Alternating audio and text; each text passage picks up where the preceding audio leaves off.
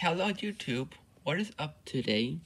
So wait, so today I'm going to be showing you how to fix the compass error on a DJI Spark because I know a lot of Spark fires probably have problems with compass errors. Probably that, that's a big issue with the Spark.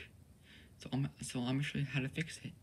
So what you need is a so you so you, you need to get a demagnetizer.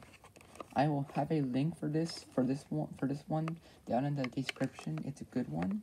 Yeah. There is the C fixer, but it's expensive and it's like hard to find on, on online. This one was about like 20 bucks or something or 30 bucks.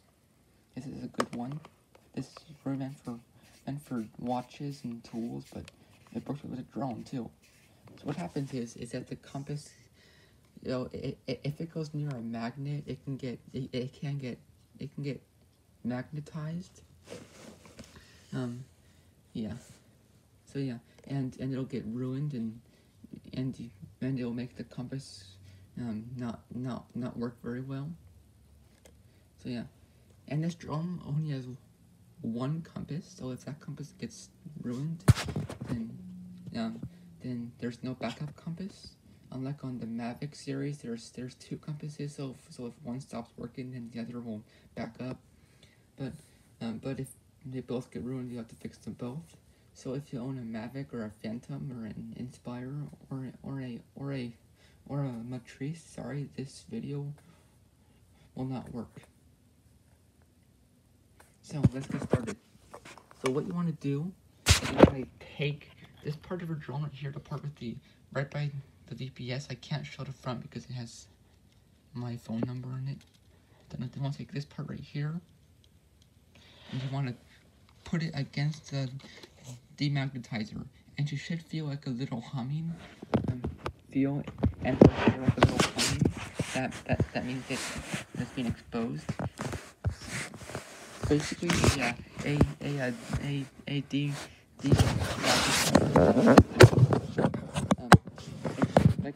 alternating magnetic field using AC.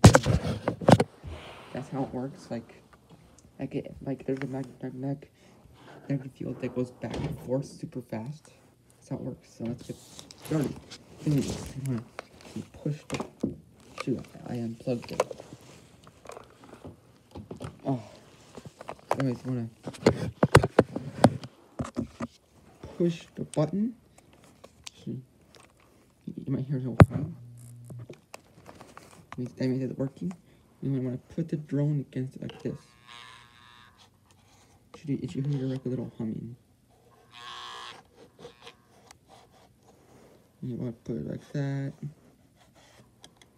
Sort of like down like that. And you just do it a couple times. While, while holding the button down still.